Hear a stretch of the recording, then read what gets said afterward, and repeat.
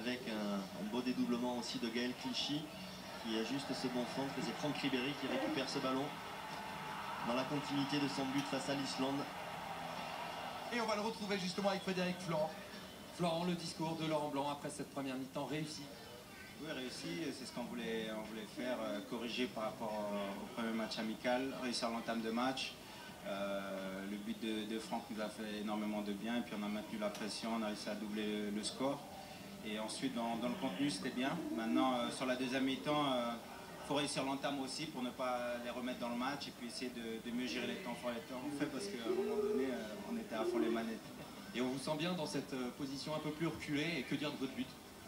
Ouais, bah, c'est une position que, j'ai beaucoup occupée cette année en club, donc euh, j'ai quelques repères et puis, j'ai beaucoup de fraîcheur. Et puis le but, c'est une prise de risque et, voilà, ça m'a sauvé. 98 km/h, vous saviez que vous aviez autant de force Ouais, mais souvent ça va 98 km/h cadré, c'est bien. Merci.